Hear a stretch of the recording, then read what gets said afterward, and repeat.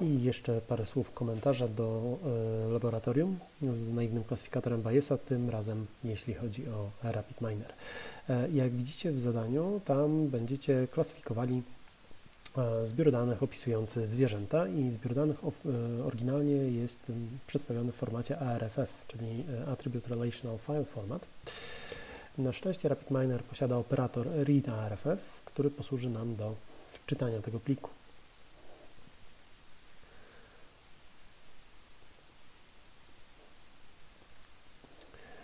Jeśli po prostu przeczytacie sobie ten plik, przypominam, że to ARFF to jest zwykły CSV z pewną bardzo podstawową możliwością definiowania pewnych metadanych, to zobaczycie, że y, po pierwsze zbiór danych nie jest specjalnie duży, tak? mamy tutaj 100, zaledwie 100 instancji, zwierzęta są opisane za pomocą kilkunastu atrybutów, no ich e, wyjaśnienie jest zupełnie oczywiste, większość atrybutów ma charakter binarny, za wyjątkiem e, liczby nóg, które dane zwierzę posiada, E, no i tutaj mamy zmienną celu, e, która opisuje gromadę, do której dane zwierzę należy. I oczywiście chcielibyśmy zbudować sobie klasyfikator, który e, pozwoli nam automatycznie klasyfikować zwierzęta jako przynależące do jednej z gromad, w zależności od ich cech morfologicznych.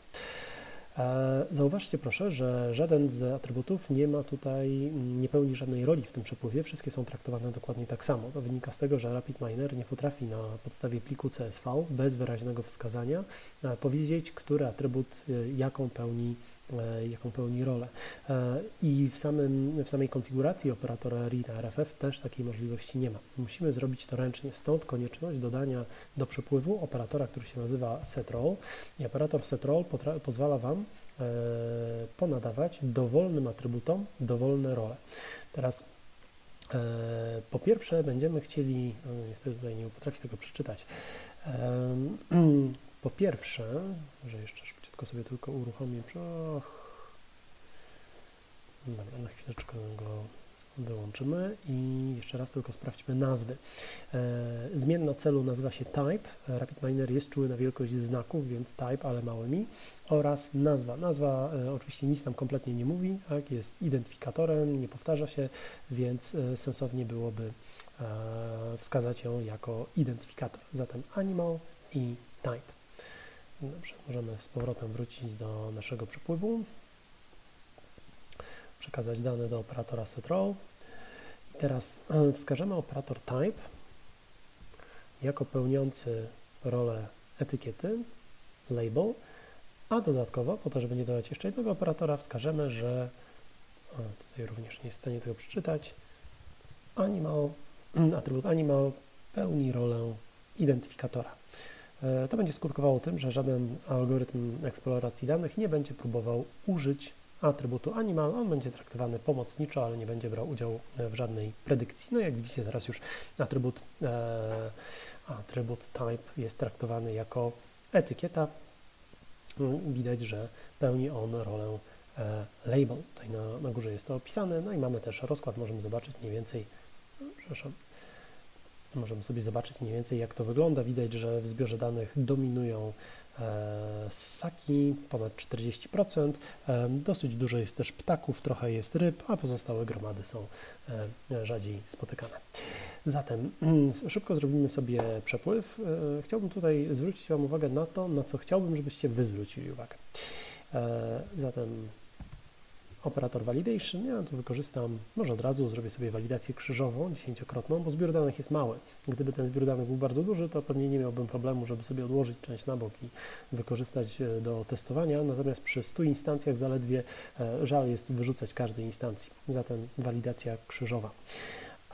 Ona będzie uruchomiona jako dziesięciokrotna walidacja krzyżowa, niech tak zostanie. E, jako algorytm uczący wstawimy sobie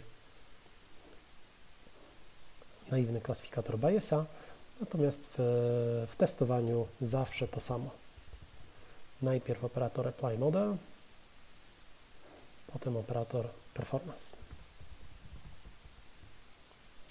To jest znów pełna klasyfikacja, nie binomial classification, dlatego że e, zmienna celu nie jest, nie jest binarna. Tym razem tutaj nie za bardzo chce się e, dane unlabeled data test idzie tutaj, model idzie tutaj. etykietki performance zostaje zwrócony. No i w zasadzie mamy wszystko. No, mamy włączoną e, poprawkę Laplace'a, czyli gdyby zdarzyła się jakaś kombinacja wartości atrybutów, której wcześniej byśmy nie widzieli, to na pewno ją, z nią sobie poradzimy. Um, wyświetlimy koniecznie sam model i wyświetlimy też macierz pomyłek jako performance.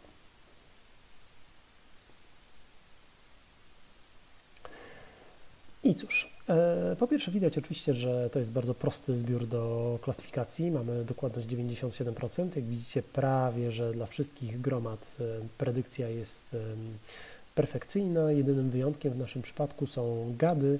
E, trzy gady zostały poprawnie sklasyfikowane, jeden gad został mylnie sklasyfikowany jako płas i jeden gad został mylnie sklasyfikowany jako ryba. No, te błędy pewnie e, niespecjalnie, niespecjalnie nas by tutaj e, dziwiły. Bardziej chciałem się skupić tutaj na przedstawieniu samego modelu, jak wygląda naiwny klasyfikator Bayesa. Sample chance. Po pierwsze, możecie zobaczyć, jak wyglądają te prawdopodobieństwa cząstkowe dla poszczególnych atrybutów. Na przykład, e, weźmy sobie mleko. Więc tutaj mamy e, na osi xów e, wartość atrybutu false, tutaj mamy wartość atrybutu true. Innymi słowy, możemy sobie tutaj powiedzieć, jakie jest prawdopodobieństwo, że dane zwierzę jest ssakiem, jeśli pije mleko to prawdopodobieństwo wynosi 100%. Jakie jest prawdopodobieństwo, że to zwierzę jest na przykład rybą, jeśli pije mleko? Ono wynosi dokładnie 0.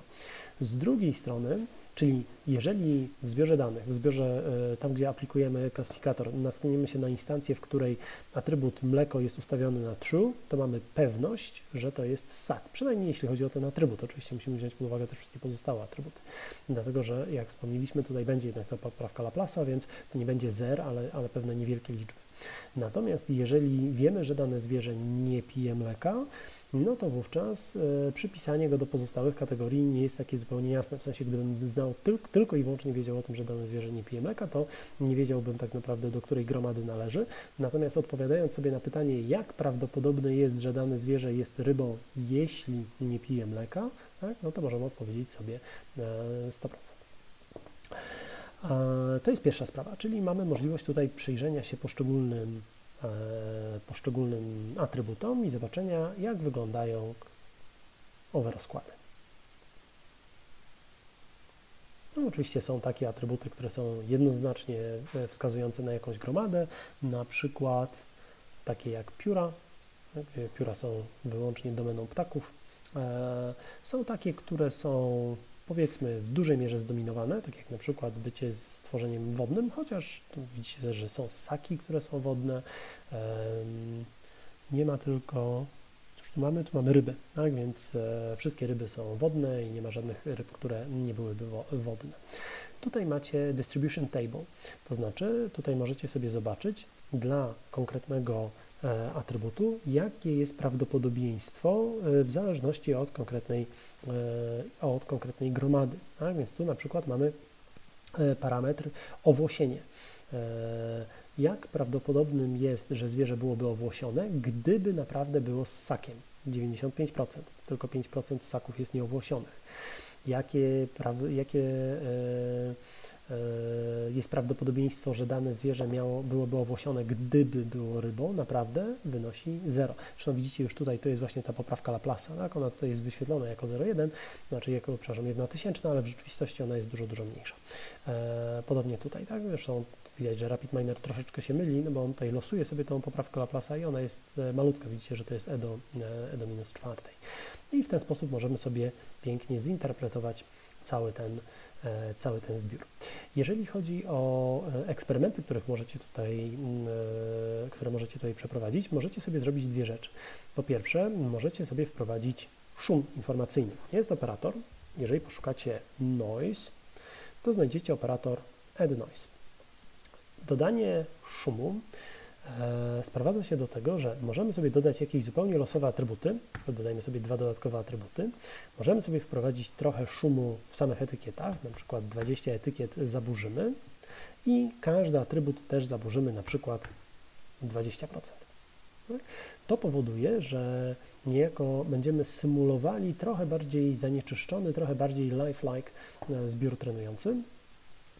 I dla tego zbioru, jeżeli sobie e, uruchomimy ten sam klasyfikator, to zauważcie, że jego dokładność gwałtownie spadła. Poprzednio mieliśmy 97%, teraz nagle mamy 65% i bardzo, duże, e, bardzo duży stopień błędów, szczególnie dla tych klas, które są mało liczne, na przykład dla e, gadów, czy na przykład dla płazów. Widzicie, że precyzja czy class recall, czyli jaki procent naprawdę tych, tych, które są naprawdę e, ssakami, został zidentyfikowany poprawnie jako ssaki. Tutaj ten zwrot wyniósł 83%, natomiast dla e, gadów czy dla płazów on wynosi odpowiednio 16 i 30%, zatem dużo, dużo mniej. To jest e, pierwszy eksperyment. Trudno jest trochę go zinterpretować, bo tak naprawdę no nie wiemy e, na dobrą sprawę, jak interpretować ten, ten stopień zaburzenia, czy 10% to jest dużo, czy mało, czy algorytm jest wydajny, tak, przy 10% szumu, tak, to wydaje się, że tutaj tak na pierwszy rzut oka, że mniej więcej liniowo spada jakość tego klasyfikatora. Na pewno tak nie jest, nie ma takiej zależności, ale mniej więcej tak moglibyśmy sobie to wyobrazić. Natomiast drugą rzeczą, którą możemy zrobić, pozbędę się tego operatora, jest dokonać pewnej selekcji atrybutów.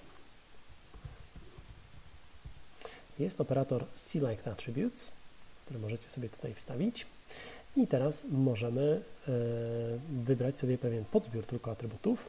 Ach, tutaj niestety będzie problem, dlatego że e, plik ARFF uh, plik ARFF niestety nie niesie ze sobą tej informacji.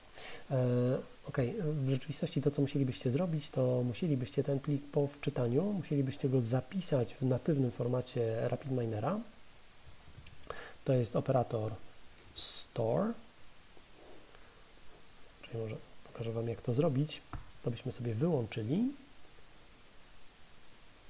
I ten zbiór danych zapisalibyśmy w lokalnym repozytorium. No, tu jest data, a nazwę go sobie zoo. Po uruchomieniu w lokalnym repozytorium w zakładce data powinien się znaleźć e, powinno się znaleźć zoo i ten plik już jest poprawny, już jest z oznaczeniem etykiety, dzięki czemu w następnych krokach moglibyśmy pozbyć się tych wszystkich operatorów, to już nam byłoby niepotrzebne, moglibyśmy korzystać bezpośrednio z tego zbioru danych, no i tu już moglibyśmy sobie cały ten przepływ z powrotem powtórzyć.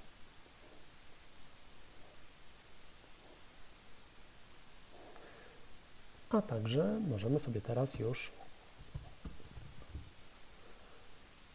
powybierać atrybuty, które nas interesują. I moglibyśmy, zaczniemy od wrzucenia wszystkiego i usuniemy te, które są e, całkiem oczywiste, takie jak na przykład e, posiadanie kręgosłupa, które od razu e, klasyfikuje wszystkie bezkręgowce, albo feathers, albo fins. Oczywiście picie mleka, Eee, to zostawimy. Eee, zęby, czy dane zwierzę jest. No, oczywiście liczba nóg też tutaj wpływa, ale z kolei eee, wiele gromad ma taką samą liczbę nóg, ewentualnie tam ryby się. Ale ryby też mogą być pomylone na przykład z niektórymi gadami, które też nie mają nóg.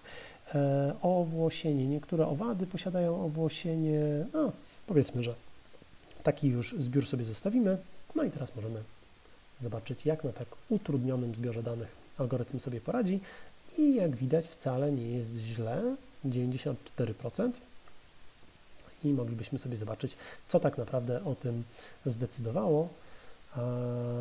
No tutaj wydaje się, że to owłosienie jest bardzo jednoznaczne, tylko w przypadku owadów tak naprawdę jest pół na pół. Połowa owadów w naszym zbiorze uczącym jest owłosiona, połowa jest nieowłosiona, więc to kwestia owłosienia rzeczywiście wydaje się być tutaj dosyć,